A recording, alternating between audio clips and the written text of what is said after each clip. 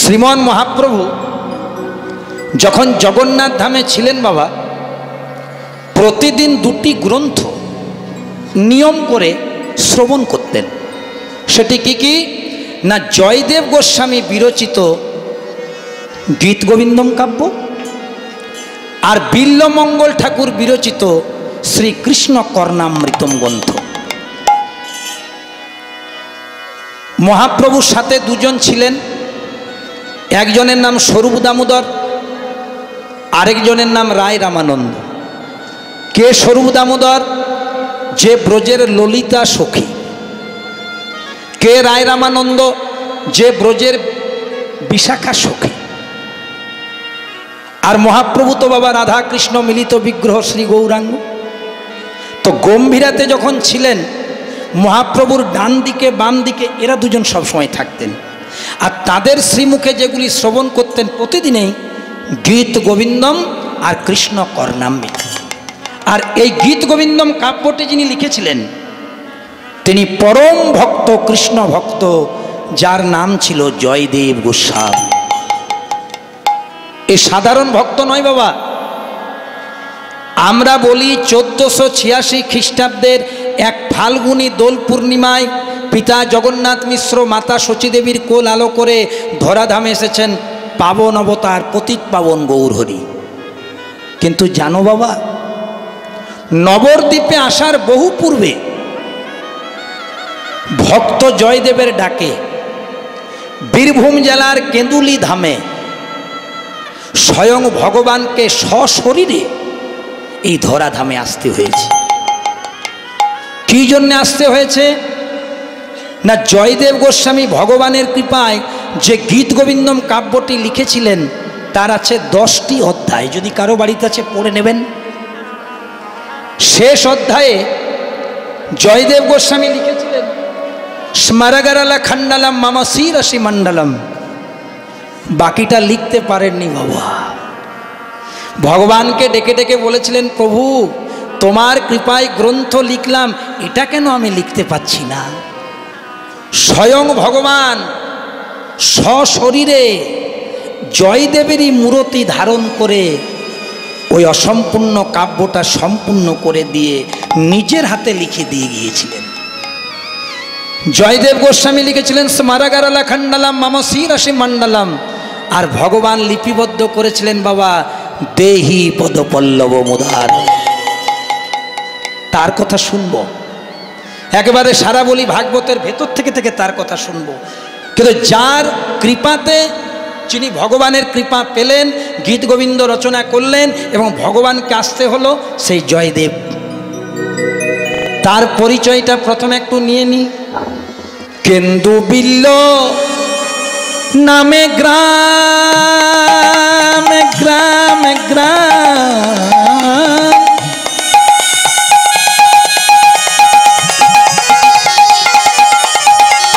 উলুধ্বনি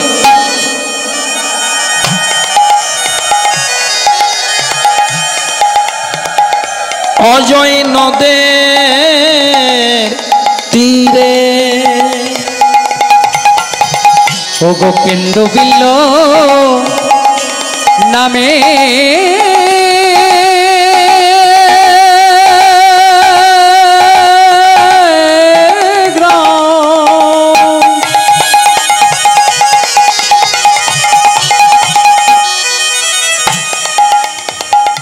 আচ্ছা বাবা, এখানে অনেক দামি দামি ভক্ত আছেন, বৈষ্ণব আছেন।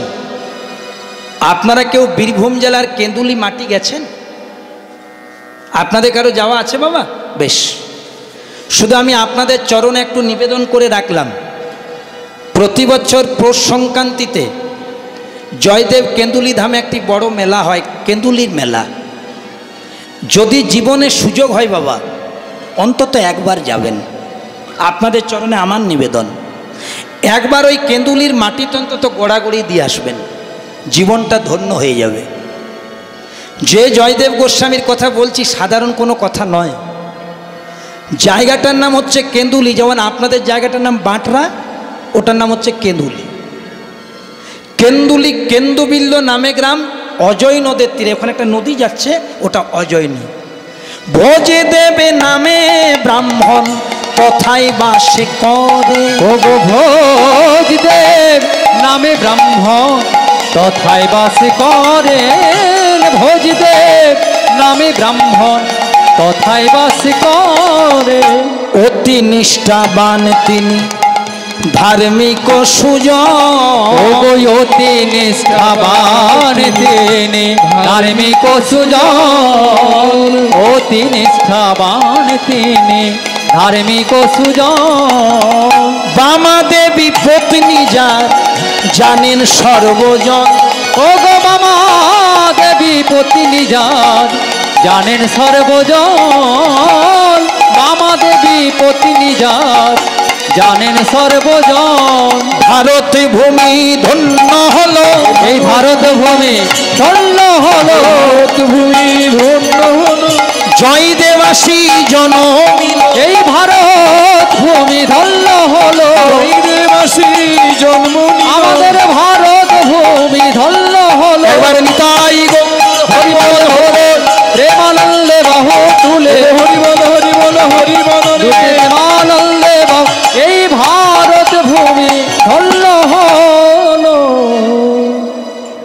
একটু তত্ত্বটা ভালো করে জেনে নেবেন বাবা। প্রথমে তো তথ্য বললাম, এবার তত্ত্বটা শুনবেন। নাম হচ্ছে জয়দেব গোস্বামী। গ্রামটা হচ্ছে কেন্দুলি গ্রাম, অজয় নদীর তীরে জেলা বীরভূম।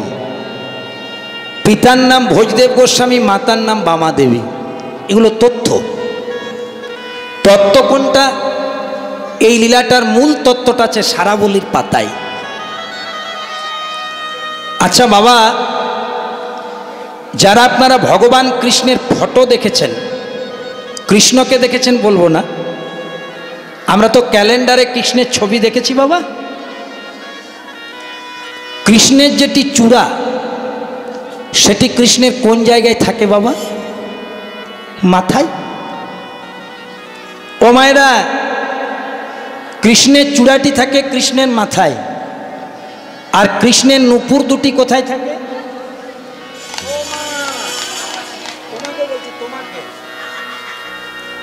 কৃষ্ণের নুপুর দুটি কোথায় থাকে বলো তো মা? তাহলে দেখো কত সুন্দর তুমি জানো। আমার দিকে ঘোরো একটু। আমার দিকে আমার কথাগুলো শোনো। কাল দেখা হবে কি? আর শোনো মন দিয়ে। এটা লীলাটার মূল বিষয়। কৃষ্ণের চূড়াটি থাকে কৃষ্ণের মাথায় আর নুপুর দুটি থাকে শ্রীচরণে।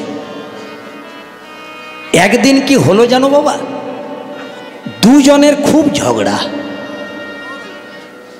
কার সাথে কার ঝগড়া? ভগবান কৃষ্ণের মাথার চূড়ার সাথে, ভগবান কৃষ্ণের চরণের নুপুর দুটির ঝগড়া। আমাদের ঝগড়া হয় টাকা পয়সা নিয়ে, কীর্তনে বসতে থাকা জায়গা নিয়ে, জল নেওয়া নিয়ে, জল ফেলা নিয়ে। কিন্তু আজকে যে আমরা ভাগবতের ঝগড়াটা শুনব, এই ঝগড়াটা শুনলে মানব জনম ধন্য হয়ে যায়। কেমনভাবে ঝগড়াটা হচ্ছে দেখো মা, ভগবান কৃষ্ণের মাথার চূড়াটি। মাথার চূড়াটি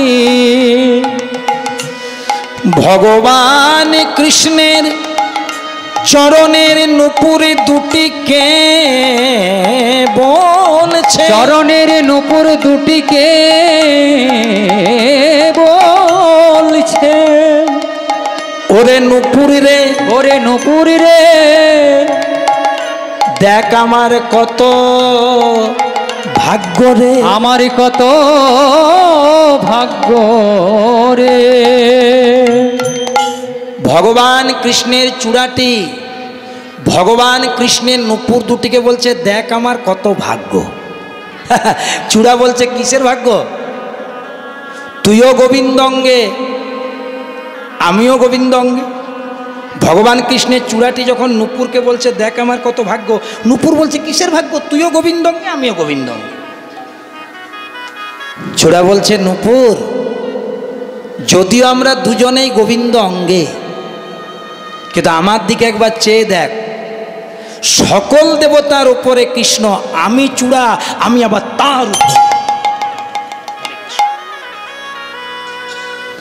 ভগবানের কৃপায় যারা উপরে আছেন মা অল্প সাবধানে থাকবেন।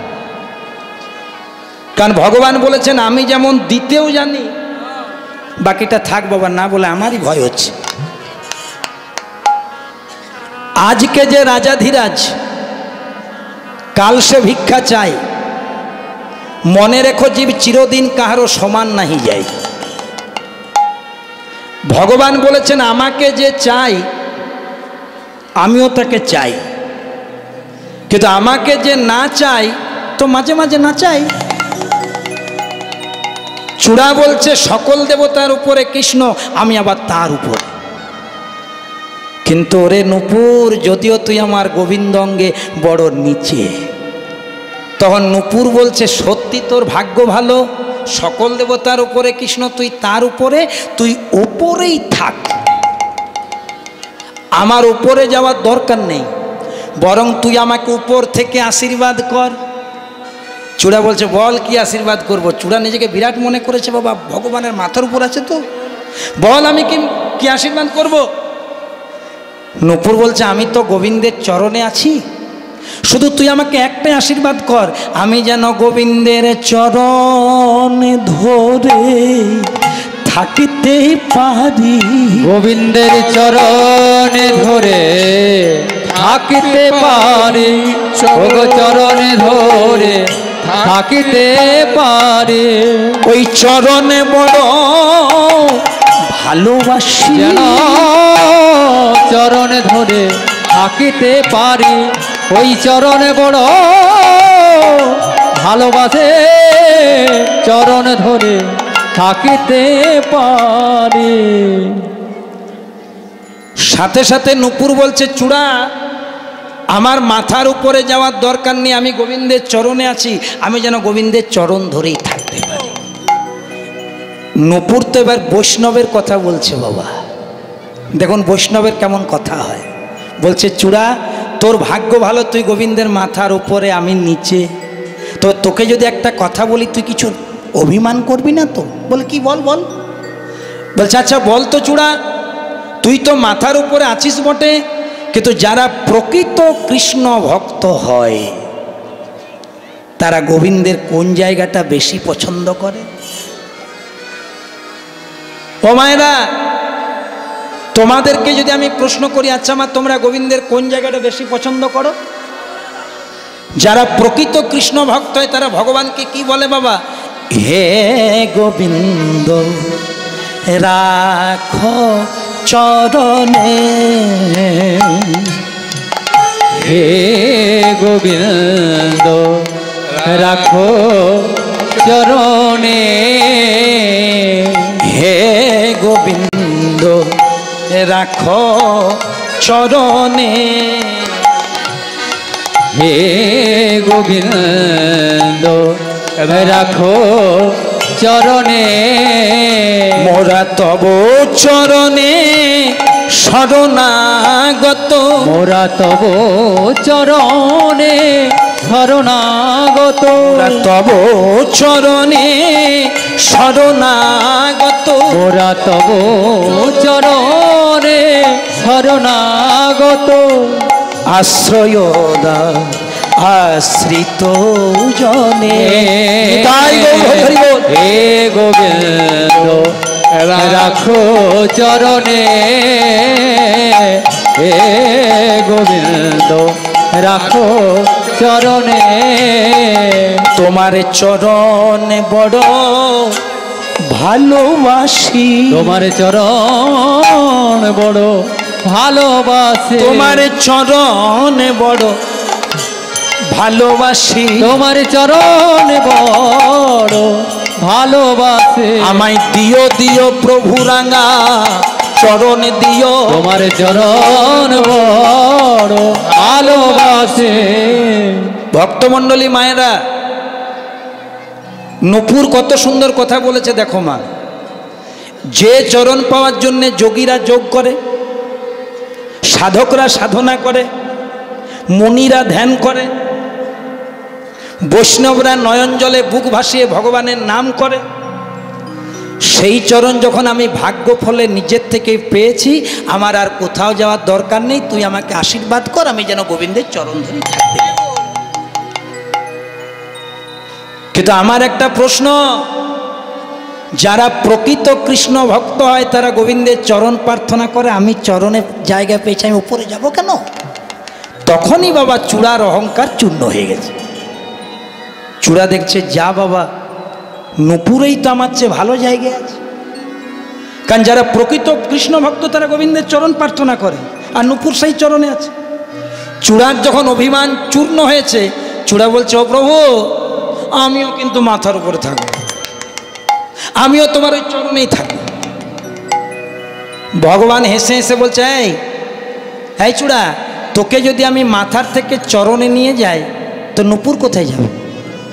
আমি এক ভক্তকে আনন্দ দিতে গিয়ে আরেক ভক্তকে তো দুঃখ দিতে পারব না।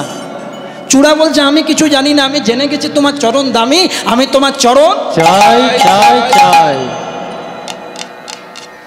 একটা বাচ্চা ছেলে বাবা মায়ের সাথে মেলা দেখতে গেছে।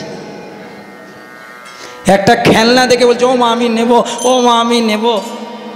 মা যদি গরিব হয় বাবা যদি দরিদ্র হয় দেখবেন ছেলেটাকে আনন্দ দেওয়ার জন্যে পরের কাছে ধার করে ঋণ করেও কিন্তু তার ইচ্ছাটা পূর্ণ করার চেষ্টা করে। আর আজকে চূড়া যার কাছে চাইছে উনি তো বাবা জগৎ পিতা শ্রী গোবিন্দ। আচ্ছা ঠিক আছে ঠিক আছে। আমার চরণ যখন চাষ দেব তবে আমার নয়। তবে আমার নয়। শাস্ত্রটা ভালো করে শুনবেন। আমার নয় আমার নয়। এই বৃন্দাবনে আমার চেয়েও আরেকজনের দামি চরণ আছে। দামি চরণ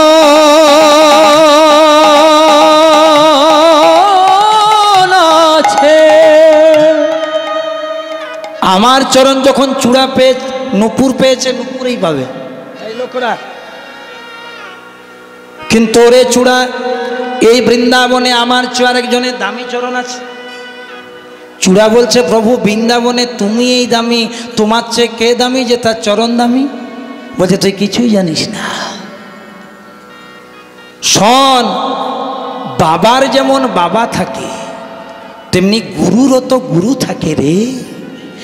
আমি হলাম জগৎগুরু শ্রীকৃষ্ণ, আর আমার প্রেমের গুরু হচ্ছে শ্রীমতী রাধা ঠাকুরানী। তাহলে আমার প্রেমের গুরু যদি রাধারানী হয়, তাহলে আমার চেয়ে যদি কারও দামি চরণ আছে, রাধারানীর চরণ আছে?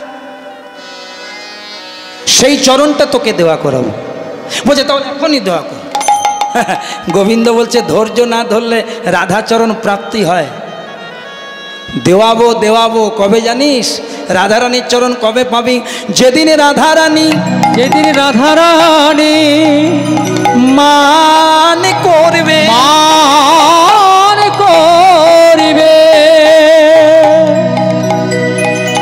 আমি রাধারানীকে কথা দেব। কথা দেব। রাধে গো। রাধে গো। তোমার কুঞ্জে গিয়ে তোমার মনোবাসনা পূর্ণ পূর্ণ করব।